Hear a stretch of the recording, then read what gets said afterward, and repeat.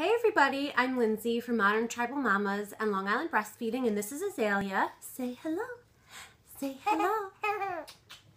Um, I'm doing a video today because I recently had eyelash extensions done, as you may be able to see. Actually, I had them done two weeks ago, and they still look as if I just got them done yesterday. And I'm doing a video on it because it was such a simple thing to do, and it made me feel so much better about myself, and I think it makes such a big difference on your appearance.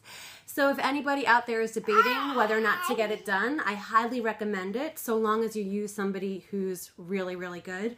Um, if you live in the Long Island area, you're definitely in luck um, because there's a really great studio in Babylon and I highly recommend it. I love it so much and I love this place so much that it inspired me to do a video on it and luckily I got lots of pictures. So I hope you enjoy. Before I really even begin the review, here's just a quick before and after picture of me, and as you can see, it's quite significant. So I was able to visit Little Lash Boutique right in Babylon Village across from Monsoon, and it's a woman-owned and operated business. And this beauty right here is Joanne, and she was just absolutely lovely to work with. She made me feel so comfortable. Um, I felt right at home. Everybody in her shop was super friendly and super professional.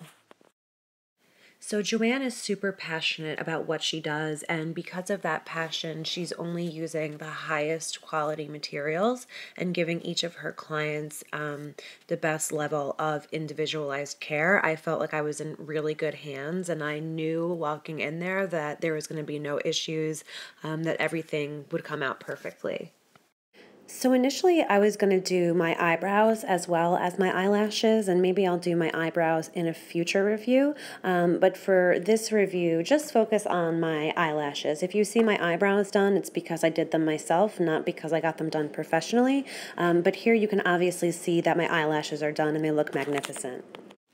So once people saw my extensions, a very common question was, does this make your real eyelashes fall out and not grow back? And the answer to that question is, when lashes are applied properly, that does not happen. And this is why it's so important to choose a very reputable boutique. At Little Lash Boutique, they're using a formaldehyde-free glue, and they're using that adhesive to apply each extension individually to your individual eyelashes. When the extensions fall out, it's attached to your regular lash and it's simply falling out because it's following the natural growth cycle of your regular lashes. So the whole process took about an hour. It wasn't uncomfortable at all. I kind of thought that it would be, and it wasn't. And the eyelashes feel really light on me. I barely even notice that they're there.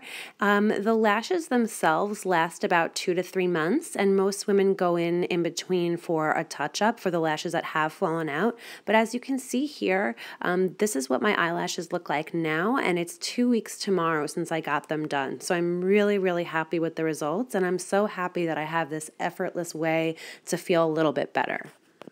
Actually, a few months ago, I recorded myself lamenting about how I'm super mom chic these days and about how I don't want to have time to do makeup.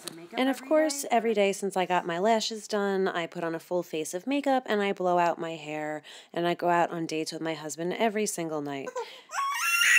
Actually, no. I'm still mom chic, just maybe a slightly um, more improved version of mom chic. This is life right now. You could hear my baby in the background.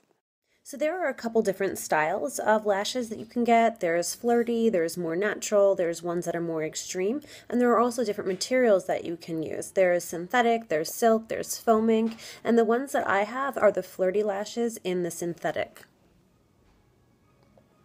So I hope you guys enjoyed this review, and if you happen to get lashes yourself, let me know how you like them. Bye!